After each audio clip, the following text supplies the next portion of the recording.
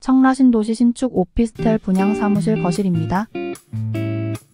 양방향 창문으로 설계되어 있어 개방감을 더해주고요. LED 조명과 보조 조명이 설치되어 있습니다. 거실 주방 중간 지점에 시스템 에어컨이 시공되어 있고요. 아일랜드 식탁이 설치되어 있는 주방입니다. 냉장고, 냉동고, 김치 냉장고 기본 무상 옵션이고요. 하이브리드 쿡탑 설치에 주방 창문 설계되어 있습니다. 팬트리 수납장이고요. 안방에도 역시나 시스템 에어컨이 시공되어 있습니다. 안방 베란다고요. 드레스룸 공간입니다. 부부 욕실이고요. 중간방입니다.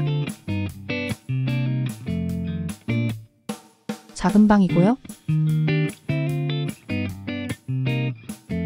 메인 욕실입니다. 월드메르디앙 레이크원 현관입니다.